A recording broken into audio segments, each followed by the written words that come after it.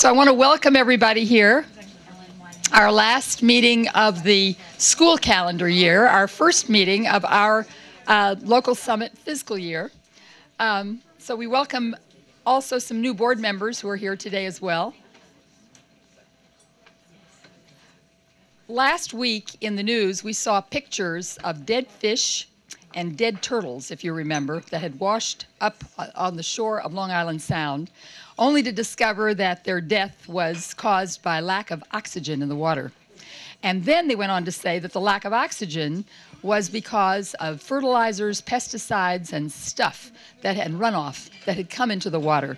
And that is really the topic of our meeting today to talk about what is that stuff that we use on our lawns, um, in our communities, that could be the runoff that does this dastardly deed in, our, in Long Island Sound.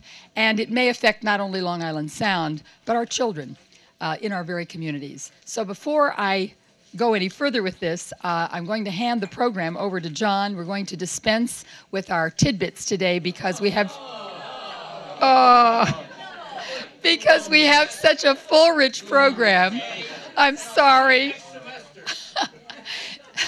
Jeff has promised us a quiz, though, in the fall. So try to remember all those tidbits that he shared with us during the year so that you will be on point on the fall. In the meantime, I'm going to turn the program over to John Bradley.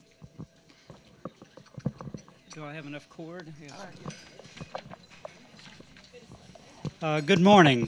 Uh, can everyone hear me? It's my privilege to introduce our panel for today's program, Healthy Yards and Healthy Children.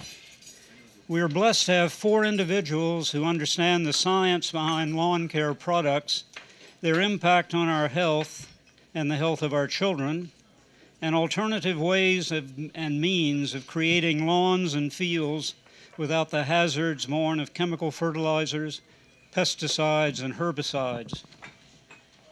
Our first speaker today will be Dr. Diane Lewis, who is the founder of the nonprofit organization, the Great Healthy Yard Project, and author of the book by the same name. It was Dr. Hazards. It was Dr. Lewis's book that inspired today's program. A nephrologist and a consultant in environmental health, Dr. Lewis comes to us this morning from Bedford, New York, where she serves on the Town of Bedford Planning Board and as a board member of the not for profit Bedford 2020, in addition to other posts and duties. Dr. Lewis is also a freelance reporter writing on matters related to health and the environment for the New York Times, the Cleveland Plain Dealer, the Baltimore Sun, and other papers and periodicals. Joining Dr. Lewis will be Patricia Patti Wood, who is founder and executive director of Grassroots Environmental Education, a not for profit organization that uses science driven arguments for clean air, clean water, and a safe food supply. Patti Wood is the co creator of the award winning Grassroots Healthy Lawn program, which has fueled the growth of the organic lawn industry. She is the author of The Safe the, the Child Safe School and the co producer of the documentary film Our Children at Risk, which explores the scientific research linking environmental toxins to children's health problems. Joining Dr. Lewis and Ms. Wood will be Westchester County Legislator Catherine Parker and Town of Mamaroneck Supervisor Nancy Seligson. Catherine Parker represents the 7th Legislative District, which includes Mamaroneck, Rye, Larchmont, and parts of Harrison and New Rochelle.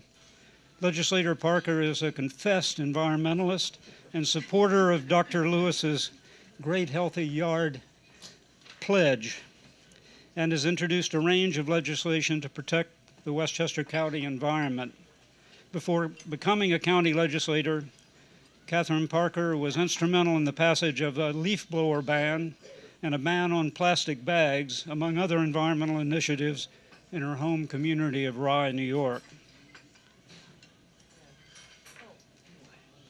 Nancy Seligson was elected supervisor of the town of Mamaroneck in, Nove in November of 2011. As town supervisor, she serves as a trustee of the Westchester Joint Waterworks and the Larchmont Mamaroneck Joint Garbage Commission. Nancy has spent much of her career in environmental advocacy and has been at the forefront of the decades long battle to save Long Island Sound. She is past president and current board member of the not for profit organization Save the Sound, and she is past chair of the Westchester County Environmental Management Council. Our four panelists know the heartbreak of finding a dandelion rooted in the soil of an otherwise perfectly green lawn. But they also know the price to be paid for the chemical warfare waged against that dandelion under those yellow warning tags that dot our streets and avenues. Ladies and gentlemen, our first speaker, Dr. Diane Lewis.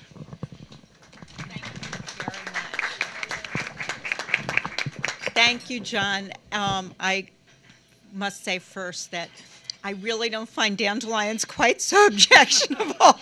um, you know, early in the springtime, dandelions and clover are one of the first things um, that butterflies and bees can rely on before our native plants have bloomed. So they're actually an important source of nectar and in my book i have recipes if you're not putting chemicals on your lawn dandelion i the recipes are given to me by a friend who um, is a really well-known cookbook author and um, has a strong italian heritage and they are well loved and well used in many countries and actually quite expensive in our natural markets here.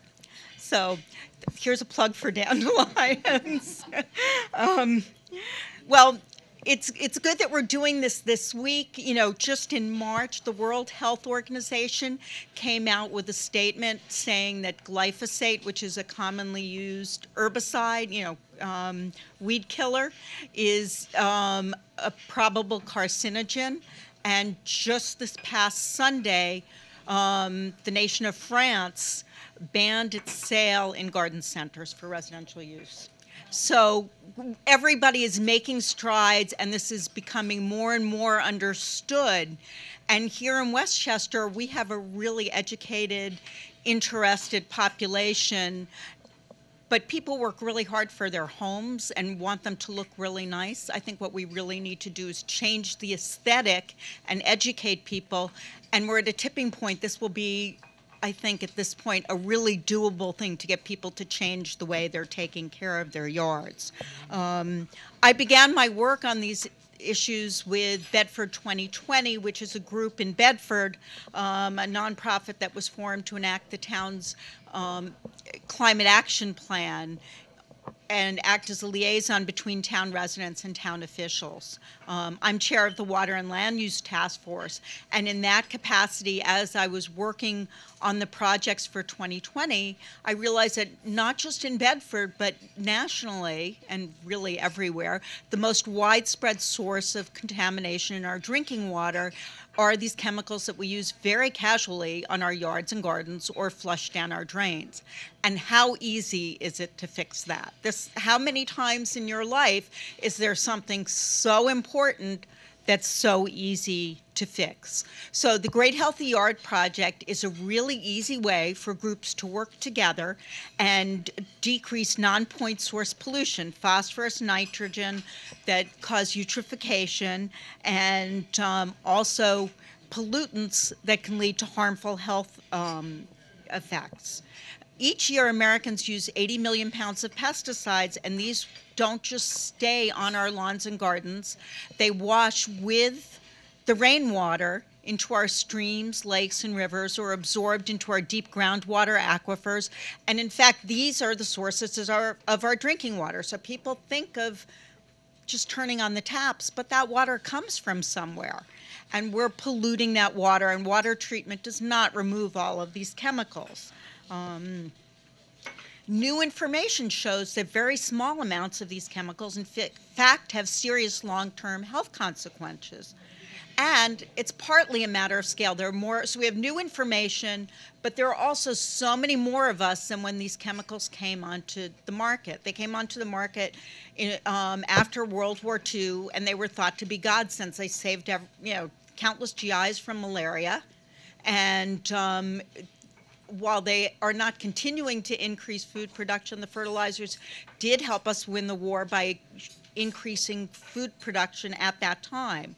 But now there's so many more of us putting so many more chemicals on so many more yards, and it all adds up. 80,000 chemicals have entered the market since World War II, and homeowners use up to 10 times more chemicals per acre than farmers do.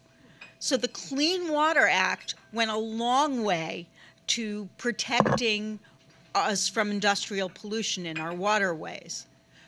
But it, it didn't address very effectively household chemicals that are put on the yards and put down the drains. And now, in fact, while there are serious issues in isolated places, this is the most widespread source of pollution of our drinking water. So, where do these chemicals go when we put them in our yards? As I mentioned, they wash into our water sources, our streams, lakes, and rivers. And as I mentioned in my article in the New York Times, tests show that these chemicals are, in fact, in these waterways. So the EPA did tests that were released in 2013 that showed that more than half of the water nationwide and up to 70% here in the Northeast and also the Midwest had enough fertilizer to be deemed of poor quality to support life. I mean, that's just again, this is so easy to change. And as I said, homeowners are really responsible for a big portion of this. In our area, homeowners are responsible for, um, and small business owners and so forth, for almost all of it. Um, the U.S. Geologic Survey tested streams nationwide and found that almost every stream, lake, and river had at least one pesticide and often more. And while the amounts were very, very small, these chemicals act together, they act cumulatively, and are in fact a serious problem. So you can do everything that you think is right in your household. You can avoid BPA in, in your you know, children's water bottles. You can even buy organic food. But if we're putting these chemicals into our drinking water, we're, we're going to suffer the health consequences. So in did I miss something? Yes, it's okay. Okay. Get a better picture of you. Uh oh. I think that'll take more work than moving orange juice on my part. okay, so um, Rachel Carson began talking about the effects of chemicals that we are using as pesticides in 1962, and her book Silent Spring awakened everybody to the problem. But now we know that these chemicals are affecting people too. In 2009 was the first time that the Endocrine Society, which was a group of um, both physicians and researchers in the field of hormones, released a position paper detailing the links between these sorts of chemicals and diseases caused by the disruption of endocrine, the endocrine system. Now, this was based on 485 peer reviewed journals and it's a big deal. They don't often publish position papers, but this is a turning point. Um, so bear with me. As John mentioned, I'm a doctor. I'm going to get geeky, but just for one minute, okay? What do you think of when you think of hormones? Women. Sex, adolescence, teenagers. But hormones do so much, not just sex and puberty and, and reproduction. Hormones control almost every system in our bodies. They control development and weight metabolism in addition to those things, um, and neurologic development in babies. So normally, we all sort of know that hormones are secreted by a gland, gland and travel through the blood, bind to an organ, and cause an effect. So think of estrogen going through the blood, binding to breast tissue, and it grows, right? We all get that. These chemicals, in tiny, tiny amounts that we couldn't even measure the amounts of them 10 years ago, actually either act like extra hormone or bind to these receptors and prevent the normal hormone for, from acting. And that causes a massive disrupt, disruption in the way our body functions.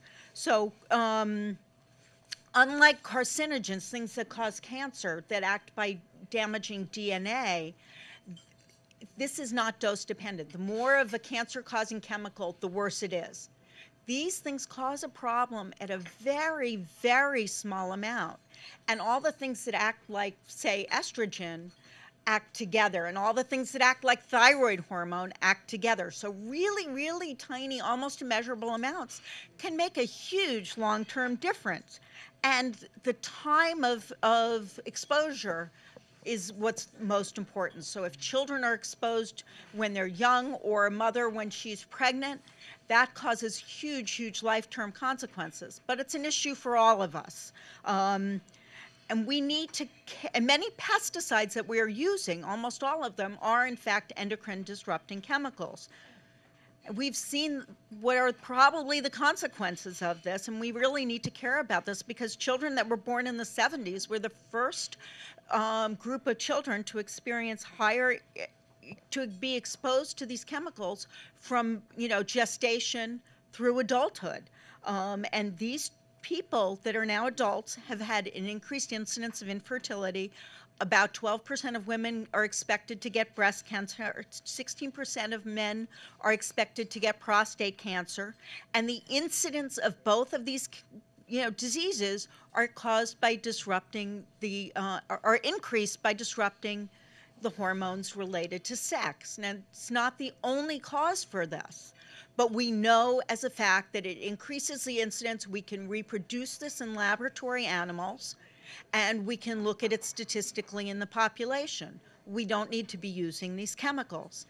We do know that we can, ADHD now affects 10% of kids. Almost 2 million people are affected by autism. And both of these are increased in incidence uh, by being exposed to thyroid hormone, thyroid in, in gestation or childhood. Thyroid hormone affects neurologic, determines neurologic development in the newborn and in- gestation. And we've known that for a long time. So women that are deficient in thyroid hormone and had big goiters had uh, children that had very diminished IQs, and that's why salt was iodinized to help the thyroid work. We've known that it affects the neurologic system. We didn't know exactly how, but we can now reproduce these problems with thyroid hormone disruption in the laboratory. Again, it's not the only cause. Um, but it, it's definitely a contributing factor that we don't need to throw in the mix. One in three Americans are expected to have diabetes by 2050, and we know that incidence is increased by the by disrupting the hormones of metabolism. We know that um, farm workers that work with pesticides, we've known since the 1980s that they have an increased incidence of diabetes. Again, this is just a huge problem. The World Health Organization, um, as I mentioned earlier, um, in March just came out and said that um, the um, that pesticides were related, that glyphosate was related to cancer, to non-Hodgkin's lymphoma, and to other cancers. Um, the World Health Organization also did a study that showed how much it cost Europe um, to deal with the health consequences of these hormone disrupting chemicals, and it was in the billions every year. And we can expect that it's about the same here. So we would save money, save people a lot of heartache if we change what we're doing. Um, the government, as I mentioned in my article in the New York Times, the government had proposed changes for agricultural workers um, to protect them because they know that the chemicals that they use commonly and that we are using um, on our yards and gardens lead to an ins- increased incidence of non Hodgkin's lymphoma, prostate cancer, Parkinson's disease and lung cancer. We don't need these chemicals to make grass look artificially greener. And when you think about what it does, it's not attractive. We shouldn't it's it's not a matter of even finding other ways to chase that aesthetic. It's done with it. This is not pretty. That's an outdated aesthetic. Um, those chemicals will be there even after the water's treated. And it's a huge issue as you know everybody's been reading about droughts and and and problems you know where people are going to be drinking treated water there are many things we can get out. These chemicals do not come out entirely with filtration. They're in after the best filtration and water treatment. They are still in small amounts in the drinking water. Um, but yet, the solution is so simple. It's a matter of changing the aesthetic and getting our friends and neighbors to work together. We all share our drinking water. So if I don't use them on my yard, but my neighbor is using them and they're washing into the drinking water, I'm still going to be affected. We all need to work together, and it's a really great way to get to know your friends and neighbors. well, but it is. I mean, it's really worked that way in Bedford. In Bedford, so far, we have 4,400 acres pledged, and um, and, and people are having coffees to talk with their neighbors in a nice way about this issue. Um, the, the book and, and the handouts that we have um, for the Great Healthy Yard Project really are a way, in an attra- meant to be really attractive way, to open this dialogue. Um, and I've been working with Catherine Parker, as John mentioned, um, the towns of Bedford and Pound Ridge, and now the county of Westchester has adopted a resolution, and, and, and Catherine led that to um, promote everybody trying to take the pledge. And the pledge is to take care of your yards without synthetic pesticides, weed killers, or fertilizers, except on rare occasions to improve habitat for native plants or wildlife, and not to throw pharmaceuticals down the drain. I don't know about Larchmont or Mamaroneck, but Bedford's police department has a um, drug drop-off where you twen- okay, and Larchmont does too. So there's there's no need. Twenty you know 24 hours a day you can drop off your drugs. They don't have to go down. There. Oh, it's not 24 hours. No, we don't have it. Oh, well, actually, if you go to the DEA website for, um, and you can go to my website if you want to, the tghyp.com. With there's a link. They can, they'll show you which um, police stations nationwide have it. There are many in Westchester. There's also the um, hazardous material take back at Valhalla. So there are really easy, good ways to drop off these pharmaceuticals. The DEA is really concerned both about water quality and, and misuse of drugs. So it's a really great program um, that's getting bigger every day. But um, we can have really, really beautiful yards with native plants that help pollinators without any of these. We can work together. In northern Westchester, our water affects the um, New York City reservoirs, which you guys drink from down here. And here, your runoff and your water affects the Long Island Sound, which we all recreate in, play in, and we eat the fish from it. So we really can work together um, and do this together. Thank you very much.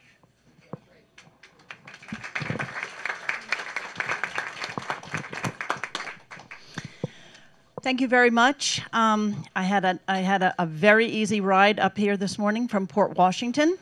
Uh, I'm, usually I'm I'm stuck on the Throgs Neck Bridge, but today it was just a a straight shoot. Um, okay, just a little news update. Um, as you probably heard, um, we had um, some major fish kills um, because of uh, because of lack of oxygen in the water, which was primarily caused by nitrogen loading. Um, nitrogen uh, that winds up in our waterways um, typically comes from human waste. This is the number one reason for nitrogen loading, and secondarily from fertilizer use. Um, right now, um, because of our situation uh, where we had this fish kill in, within the last two weeks, and then again on Sunday night, there's another major fish kill in the Peconic Bay area, which is um, which is uh, out uh, off the North Fork of Long Island. Um, we're going to continue to see this. I'm sure you have seen it uh, at various times. Um, when you have a sewage uh, sewer system, you're in much better shape. But where you have individual homes that have septic systems and cesspools, that's where we run into trouble. Uh, especially those homes that are on um, bodies of water. Um, that nitrogen easily um, filters through the soil and into the water And um, we are trying to address this.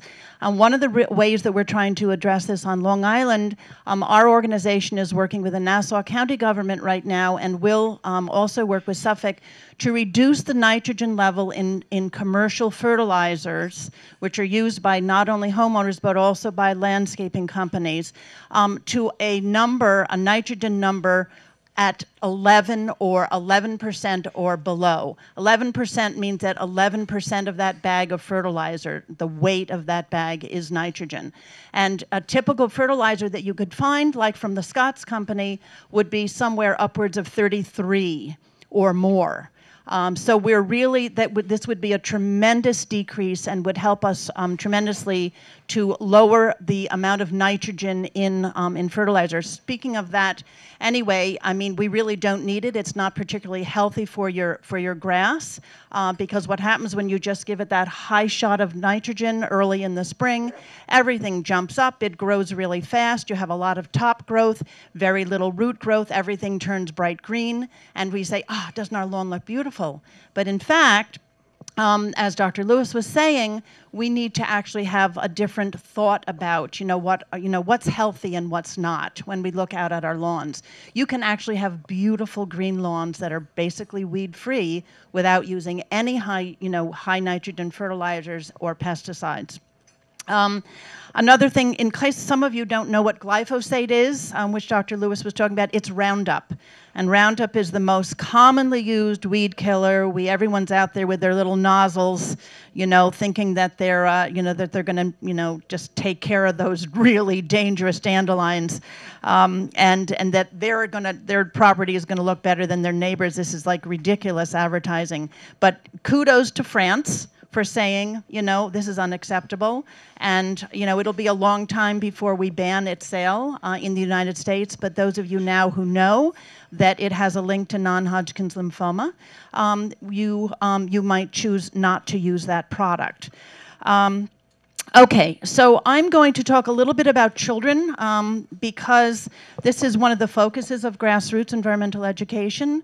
We educate the public about the links between common environmental exposures and human health. And one of those common environmental exposures is pesticides, um, both used on turf and inside um, buildings, uh, your homes, schools, institutions, and so on. Um, so, one of the things that we do is we work um, with legislators. Uh, in New York State, um, we actually have a law. Uh, it is called uh, the Child Safe Playing Fields Act. Um, our organization was instrumental in, uh, in writing this law and getting it passed.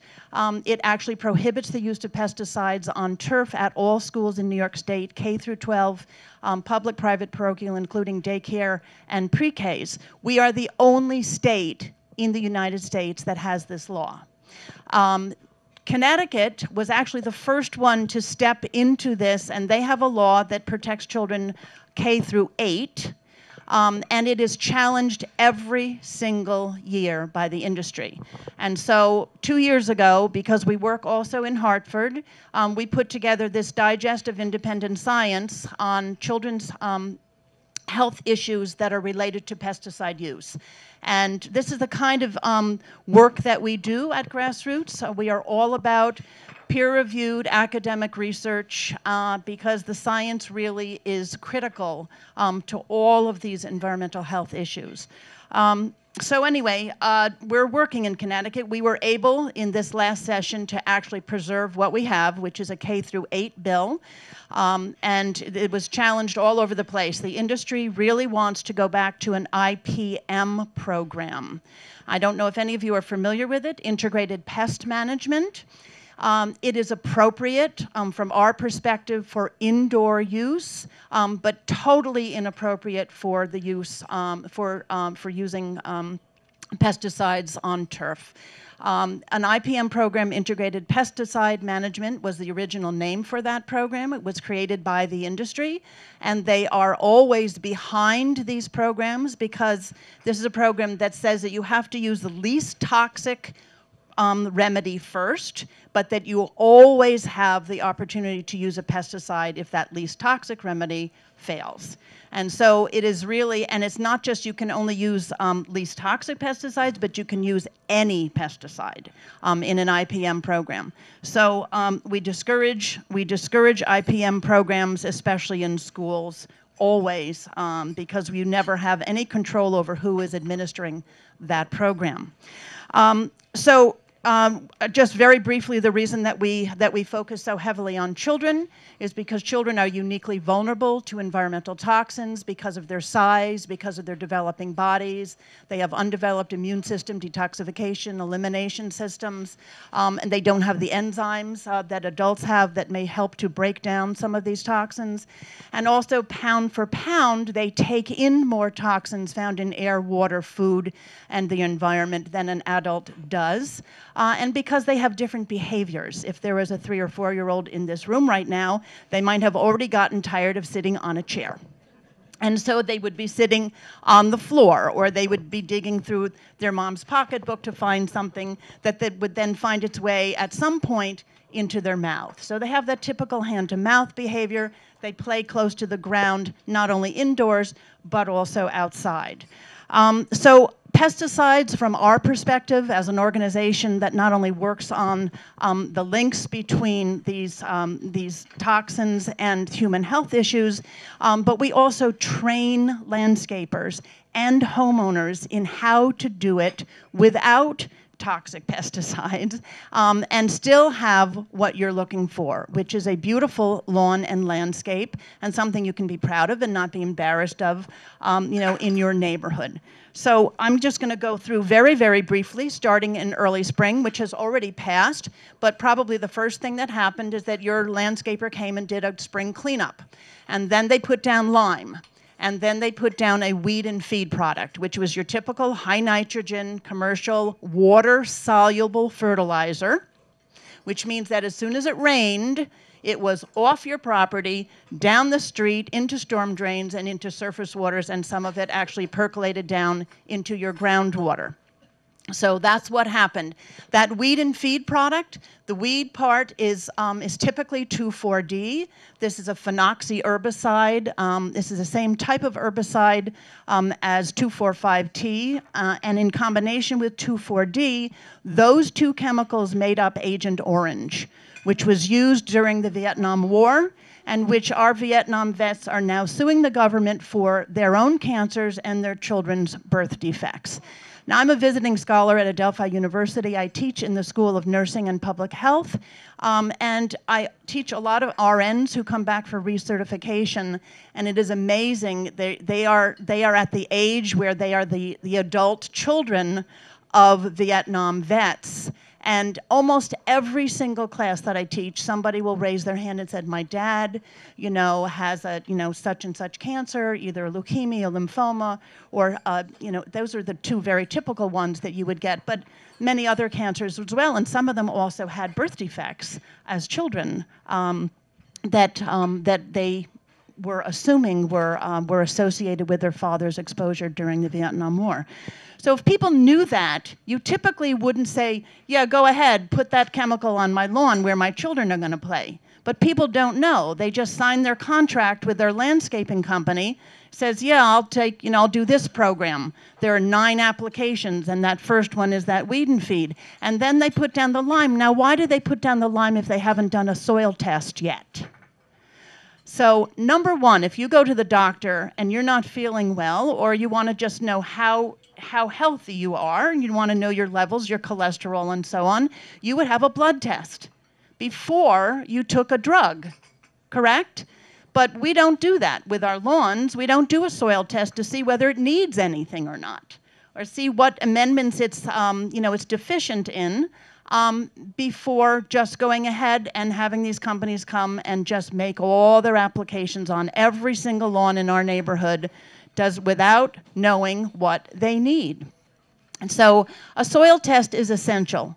You get that soil test, it, take, it, it looks at the, the basic macronutrients, um, nitrogen, um, uh, the uh, blah, blah, blah, magnesium, not magnesium, phosphorus, and what am I looking for? Potassium, exactly. Potassium and phosphorus. Yes? No, phosphorus, potassium. In that in that order. It's nitrogen, phosphorus, and, and potassium. Um, and then it looks also at micronutrients, and it will look for if we are very, if we are, it will look for pH levels, which would determine whether or not your lawn needs lime. It will also look at the amount of organic matter. If you have, if you have zero organic matter, your lawn is in trouble. It means that that soil is not healthy. And if you don't have a healthy soil, you can't feed a plant that plant really depends on healthy soil for its nutrients. And so what's really important is that you when you have a soil test done on your property that you have a comprehensive soil test, done so that you really know what should be done to make that soil healthy if you've already been using pesticides and you've decided not to, you want to make sure that instead of putting down that weed and feed product, that they are going ahead and they are putting down at least a half an inch right, right at the very beginning of the season of compost, really good quality compost. Um, and there's a little bit of a learning curve here. You should probably try to find a landscaper that has experience in organic turf maintenance, organic yard maintenance, and they are they are actually blossoming, growing in Westchester County. At one point, Westchester County had more organic landscaping companies than any other county in the United States. So you really do have options here, and that's a that's a very positive thing. So look for that you can actually go onto our website, which is grassrootsinfo.org, and find a list of landscapers in various parts of the county that have taken our Grassroots Healthy Lawn training program. Okay, so when you get your soil test back, they can add lime if your pH, you know, um, requires it, uh, the pH analysis, um, and then they would start immediately putting in um, in some soil um, food. And soil food is basically compost in the form of the compost or compost tea. Um, compaction is turf grass's worst enemy. If you have little kids and they spend a lot of time on your lawn, you are compacting that soil. Roots grow in the air spaces in soil. When you compact it, there are no air pockets. And so you want to make sure that you're relieving that compaction. Now, when you aerate a property with either slice aeration or core aeration, it's actually, you know, it's, um, it's stressful for the grass. So you don't want to do it unless you have to do it. Um, but if you have a lot of compaction or if you're, you know, if you've just done construction, um, or you know any kind of renovations on your home. You've had a lot of heavy equipment on your property as well as people walking on it. You might want to at that point do a very um, comprehensive aeration and then overseeding. Um, the best time to seed is in the fall but you can seed again early in the spring. Your first mowing of the spring should be the only mowing where you actually collect the grass clippings and throw them away and that's because you want to just make sure that you're removing any blade diseases that might have occurred over the winter months. And so you actually cut it pretty low and then you actually collect the grass clippings. For the rest of the year, you leave the grass clippings on the lawn. As they break down, they provide nitrogen, natural nitrogen. You're actually fertilizing your lawn every single time you mow it by leaving those grass clippings on the lawn. Um, okay, so I talked about compost and compost tea, very important. Um, if your soil is really toxic, if you've had a lot of chemicals on it, um, I talked about the half inch of, of uh, compost, but you can also use marine products such as kelp and seaweed, um, which contain minerals and add organic matter to the soil. When you mow, you should only cut at two and a half to three inches. Those blades should always be pretty high so that you can take advantage of the photosynthesis process, which is so important to any plant. Um, organic fertilizers, just a quick mention. Organic fertilizers are always water insoluble, which means that they do not run off your property when it rains. That they, they stay in the soil and they literally just make themselves available as the plant needs them. So that's what, that's what you absolutely want to do if you do nothing else. Stop using water soluble, high nitrogen fertilizers. That will be a huge improvement. Um, irrigation don't water in the evening. Don't water between 10 o'clock and 4 o'clock, where you're just everything is just going to evaporate. So you're just wasting water, wasting your time. Water early in the morning. It is the only time that's valuable and that really does something positive for the plant. Okay, when you water at night, it stays wet, or you water late in the day, it stays wet all evening, and then you have a higher probability of, turf, of fungal turf grass diseases. Um, I can talk about overseeding really quickly. Even if you have the most beautiful lawn in your neighborhood, you should always overseed it every single fall between the end of August and the end of September.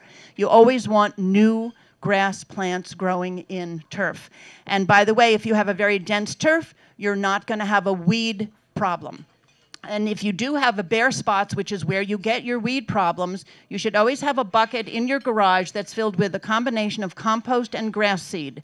And wherever you have a bare spot, you just put down the compost and grass seed. The compost will keep it moist and it'll keep the birds from just just picking it all up off the property and you can just constantly keep seeding those bare spots. Um, we have a lot of information over on this first table right here. Ellen Weininger who's our westchester county wonderful person um, has brought lots of information. Um, it's our green card uh, it is a, a card for pets and pesticides, very important that we keep our dogs off lawns. Um, there is a, a, much higher incidence today since we have started using pesticides in our communities of canine lymphoma, which is the, which is the, um, the dog's um, counterpart to human um, non-Hodgkin's. And we have our green card, which on one side is Pesticides 101 and the other side is a complete organic lawn care program. So please take this information. Thanks so much. Thank you.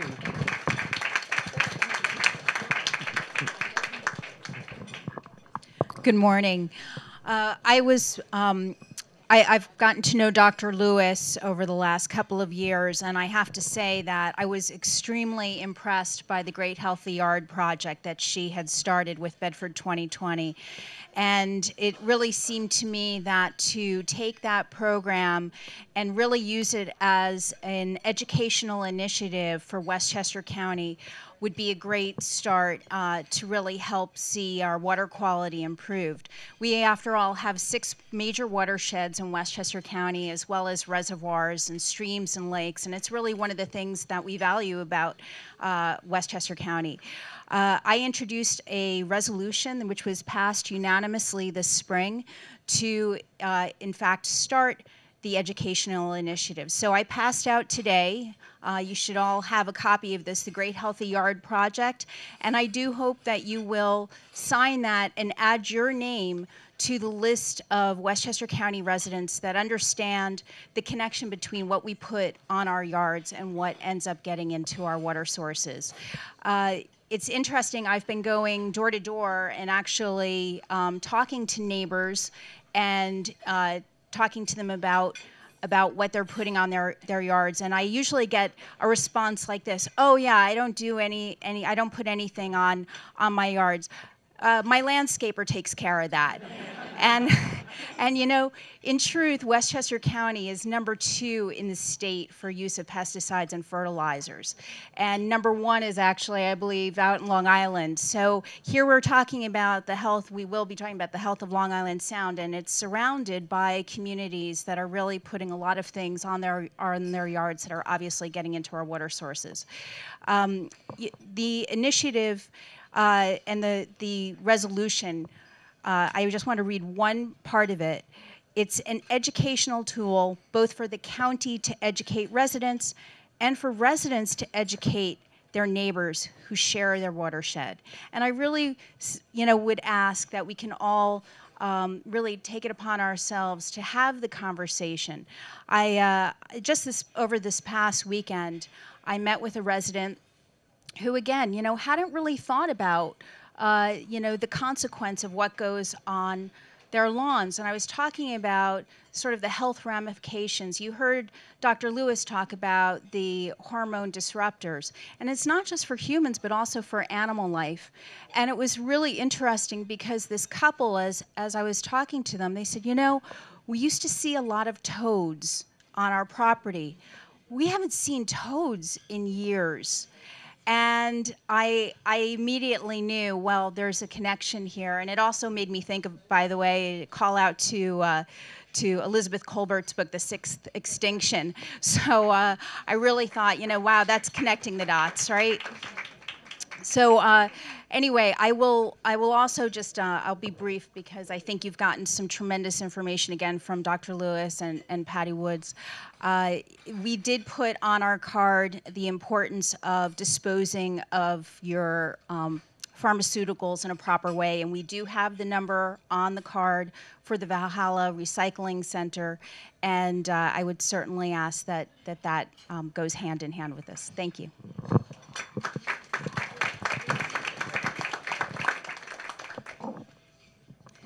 Good morning, everyone. I've been waiting about 25 years to have this discussion in this forum, so I'm very glad for that. Um, the, I've been working with the Long Island Sound Study for a very long time, and pesticides and fertilizers have been a major concern for the Long Island Sound Study for the health of Long Island Sound for that long. I have to say right away that my lawn is a detoxed lawn, and it looks pretty good. I mean, you're all welcome to come, 7 Douglas Lane. It's not perfect. It's not Kentucky bluegrass. Every blade is not perfect. But you know what? It's green, and I have toads. I have toads that visit my yard. So I'm very proud of that. Um, and I had to, it took a long time to convince my landscaper not to do anything. I actually don't let him do anything except mow the lawn. But he's used to it now. so I'm okay. Um, as we've heard, pesticides and fertilizers can be very harmful to um, people, pets, and to waterways. And um, what is so upsetting in the waterways is that we don't really understand runoff in our communities. And what happens is if you put too much fertilizer on your property or if you use pesticides and it rains, whatever has not been absorbed by that lawn is going to go right into the nearest catch basin, which is the grate you see in your street.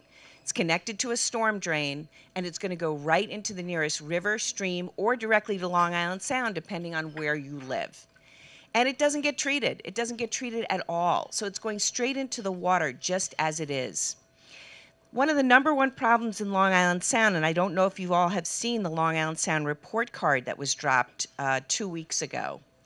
Um, but it it it's a report card on the major stem of the sound. So it doesn't go into Mamaroneck Harbor. They did do two harbors, Hempstead Harbor and Norwalk Harbor, but not ours. But our area, which is the Eastern Narrows, has a D plus grade, an overall D plus grade. Now, that doesn't mean that it's unhealthy for people to swim or recreate in it. It means that it's a D plus grade actually in terms of the ecosystem services. And one of the problems is we have very low dissolved oxygen. So when that fertilizer goes into the water system, fertilizer is growing plants on your land. That's what it's supposed to do. And guess what? It does the same thing in water. It grows plants. We don't want plants growing in our water that aren't supposed to be there. We would love to have eelgrass, that long, beautiful grass that you see, which actually does an amazing job of protecting us from flooding and uh, cleans water. But having an overabundance of nitrogen in the water, which is eutrophication, um, causes hypoxia, which is low dissolved oxygen. And that's because it goes in the water and it grows plants.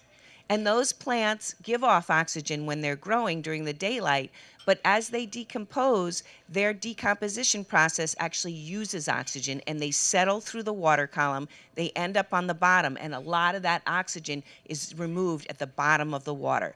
So if you're a fish and you're thinking, mm, this oxygen does not feel good, I'm getting out of here, you leave. But if you're a slow moving lobster, or if you're a non moving shellfish, or other creatures that really can't leave, they suffer and they can die. So that's why we have very reduced lobsters in the Western Sound. One of the reasons, I mean, there's a lot of reasons of problems uh, with water temperature as well, because we're at the very southern tip of what the lobster habitat is, and any change in water temperature really, really changes the game for them. So I walk around my neighborhood and you know, I represent my neighborhood. and I go crazy because I see those little uh, yellow tags on everyone's lawns. And I know that they're also using fertilizer. Those are just for pesticides.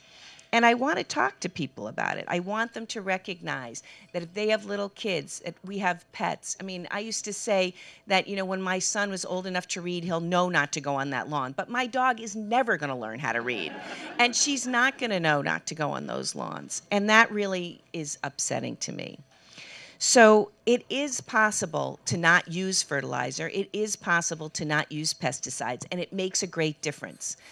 The Long Island Sound Study has been trying to work with counties because the legislation to ban um, pesticides or change the use of fertilizers has to be done on a county level in New York. We can't do it, I can't legislate that in the town of Mamaroneck as much as I'd like to. But in Suffolk County, they have moved along, and in Westchester County, to prevent nitrogen fertilizers from being used in the winter. That makes sense because the ground is hard. It has no use for fertilizer at all. And people were putting fertilizer on even in the winter. So that's a start. But we need to really educate people. And I'm hoping that your great information and the Healthy Lawns Project really can bring it to a new level for people. Because just as these endocrine disruptors affect people, they affect marine life also. We see some funky things happening in Long Island Sound. We know that the pharmaceuticals are also hurting, and that's why we just held three drug take back days in the town of Mamaroneck. And I have to say, some of the staff were like, oh, you know, what's that going to do? Well, we collected over 80 pounds of unwanted pharmaceuticals, which is a lot. And we're hoping that we can do this on an annual basis so that people, although there are other places to bring them, that you know that you can just collect them for several months and you'll be able to dispose of them properly in your town. Now, you don't have to dispose of them this way, but you don't want to put them down the toilet or the sink. That's the number one problem because that's how they get directly into the water system.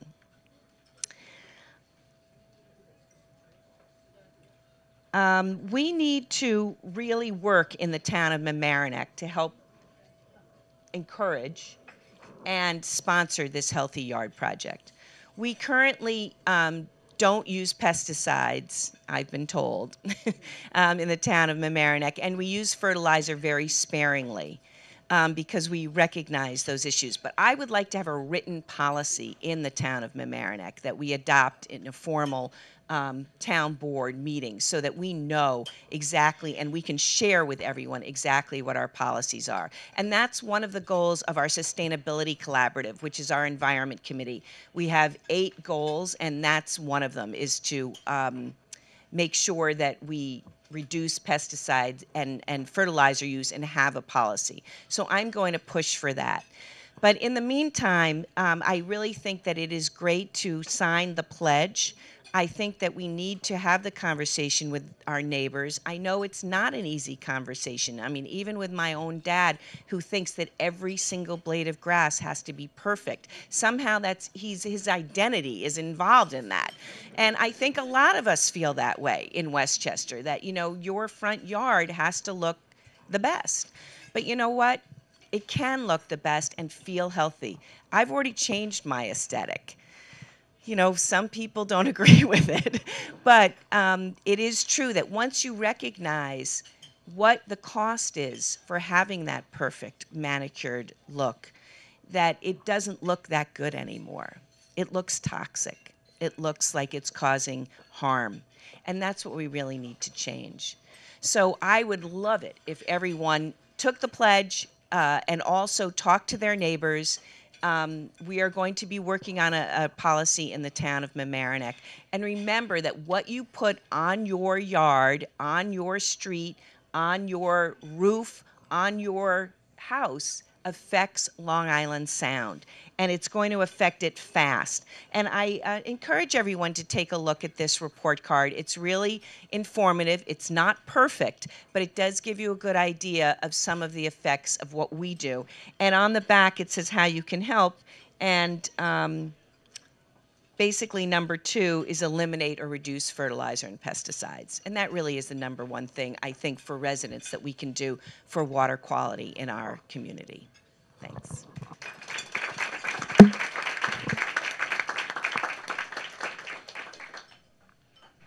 Thanks, John.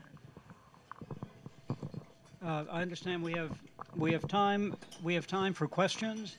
Uh, And I would ask, if you have questions, if you would stand and, and ask them uh, clearly so everyone can hear them. And then um, if there's any doubt about it, if the um, person to whom the question is directed would repeat the question, that would probably help as well. So uh, the man in the green hat. Hi, how y'all doing? Uh, Jim Kalora with Habitat. It's an honor to have you here. And I grew up where our landscapers were teenagers. I, I don't know understand. so uh, I commend you all, and it would be would be a great thing if maybe you sponsored a breakfast for landscapers. If you want me to help you do that, I'd be Habitat. I'd be honored to do that with you, Catherine, at a press paper. Yeah, so, but the, you know, so one, one thing is, um, uh, we see California the way it is, and again, it's kind of like people say, "Oh, solar panels look ugly." Well, you, you tell me asphalt shingles look look nice, huh? Um, you know, think about that, right? Uh, California has brown lawns everywhere. We're a drought away here, and it's almost like I want to take it to a different different level because we're so concerned about, and it is Westchester. And, uh, uh, but uh, green, green is brown is not bad too. It sounds horrible. But we're, we're not far off from that, where we had to boil water in Rochelle, Bronxville, and Tuckahoe with United Water, which is a company in France that owns our water. So these are interesting times, right? And uh, two two other kind of questions. One, uh, would would you be would is uh, could you legislate these these pesticides out of landscaping use? Second, there's a movement for growing food instead of lawns, which sounds horrible, but the price of food, I know this is a different economic community in a way, but uh, growing food on the front lawns instead of vegetable gardens. In World War II, 20 million people had victory gardens, and people had less cancer. And then the, other, the third thing with that is there was a lawsuit in the county that I just found out about about rain barrels. I don't know if you heard about it, but there's free rain barrels that in Larchmont is one of those communities that people can get free rain barrels under that lawsuit. I don't know if you can bring that back to the committee, but uh, someone was shaking their head over here. Um, and it, So um, that's a, first of all, let me start by and thanking is rain you. barrel water healthy to drink? Yeah, no. But I, I also, What's healthier? I first want to thank you for the wonderful suggestion of meeting with the landscape industry because I think you're 100% right. That's a piece of this issue, most certainly. I will tell you from a couple of conversations I've had with landscapers, they feel tremendous pressure to provide great, beautiful lawns for their clients. So it's kind of a conversation that really does have to happen as well with the homeowner, which is Right, right, why against I am offering to, if anybody would like me to, to accompany them on a walk through their neighborhood, I would be happy to do that. Because I really think it is a conversation that is neighbor to neighbor, door to door. And I really think that it's important to, and we're starting with an educational initiative. So to your last point about can you legislate, yes, we can legislate.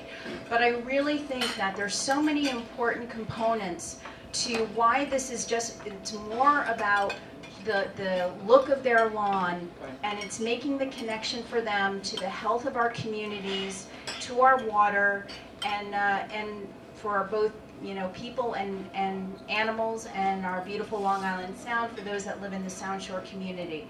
So I, I think all your points are excellent, really great suggestions. I think again, I will make the last, uh, the, the last offer. Please reach out to me and I will, uh, bring a bunch of these and we'll go door to door and we will talk about, uh, the Great Healthy Yard Project and why it's so important that everybody gets on board with this. And then I think the landscapers will also hear back from, uh, because most people in this area don't take care of their own lawns. But I know in neighborhoods like in Shore Acres and Mamaroneck, the whole homeowners association, SAPOA, they have an organic landscaping company that actually contracts with the entire association. And I really think that for those of us that live in neighborhoods where we, we have a community association, this may be a great way to get started. I, I forgot to add that we actually are in the town of Mamaroneck working with two neighborhood associations to see if we can um, create a healthy yard uh, movement in that and, and have them be sort of model communities, model neighborhoods. And that would be an incredible way to showcase how it can be done and, and really model the good behavior. I just wanted to say that uh, in New York State, we have a preemption law about regulating pesticides so that individual communities, counties, and so on may not regulate or ban the use of pesticides. But you can, as a, as a county or as a community, not use pesticides on your own town properties or county properties, and you can encourage residents to, uh, you know, to do the same through educational opportunities. And I think that this grassroots way of doing this is literally the only way to do it. And then you can go to Albany and you can say, hey, look what we're doing. We need, we need to be able to, we need to be allowed to, to regulate this. This did happen in Canada and it went up the, it went up the chain from the, you know, provincial court to the Supreme Court and finally the Supreme Court said, okay, individual towns and communities in, in, in uh, Canada can actually ban the use of pesticides on residential properties. And I think a lot of the people that are working on lawns that do these maintenance, um, lawn maintenance programs are beginning to understand that they are perhaps the most affected because they're directly in contact and would be happy on the one hand not to do it. On the other hand, for a lot of them, it's a real source of income. It's a line item number that they can bill for. So as a homeowner, if you can explain to them, look, here are the other things that you can do for me to make up for that. I need some organic, I need some, um, I need my, to have my lawn overseeded to outcompete weeds. I need to have it aerated because it's compacted in clay-like soil. And I want to put in some native plants in areas that I have lawns. Can you do that for me? That's a great way for them to make back money. They are not going to do this if someone's not going to pay for it. If the homeowner is not going to pay for these chemicals, the chemicals are expensive, they're not going to be on your lawn. So it really rests on the homeowners, and it's wonderful to work with the landscapers, because the landscapers can then offer alternatives to the homeowners, and it will help protect the landscapers too.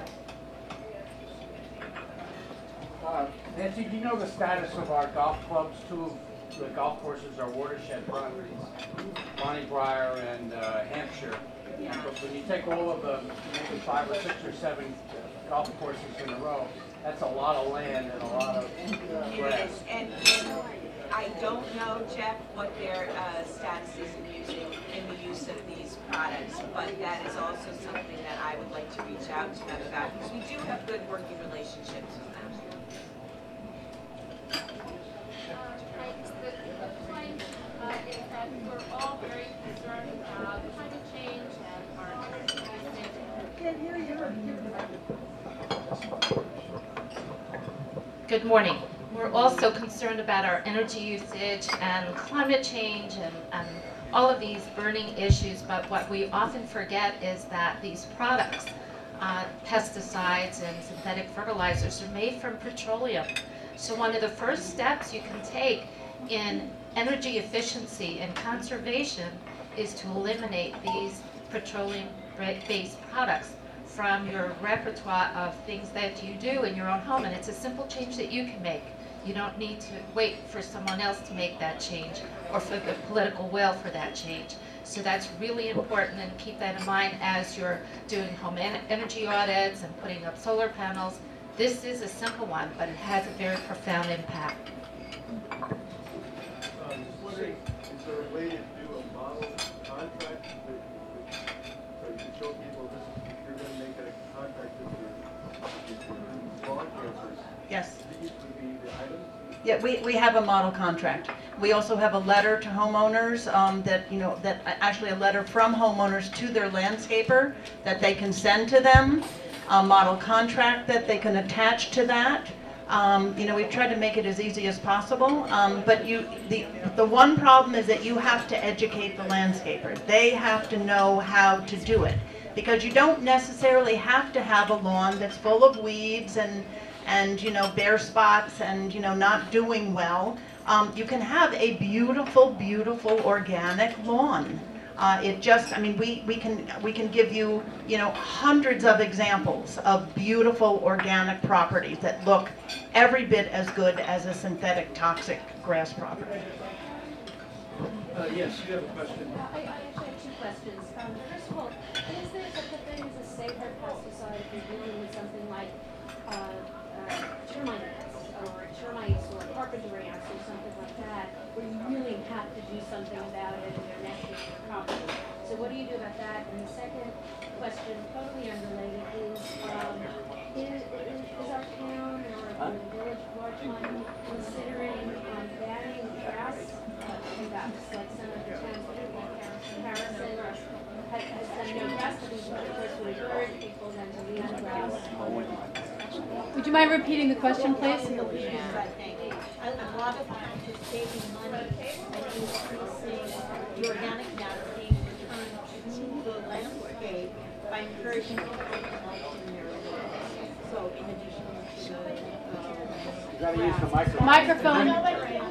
There, it's a two-phase thing. If you have,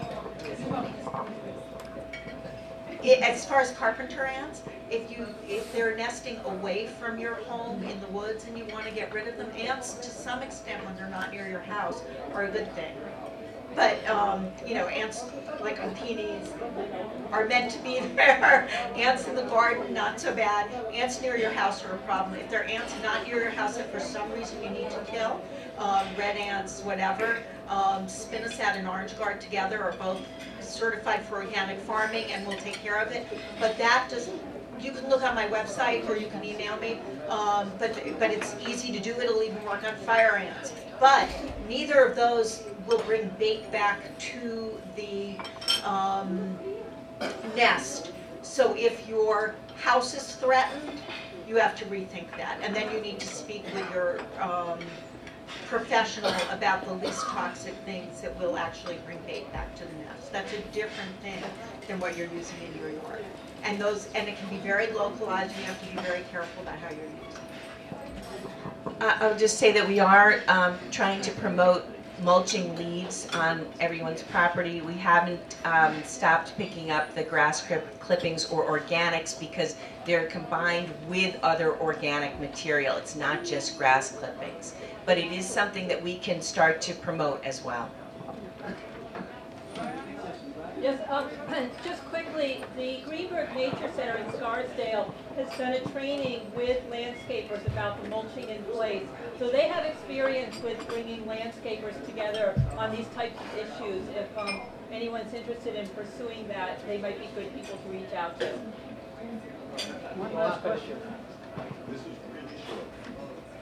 Are your model contracts and educational materials available in Spanish Yes.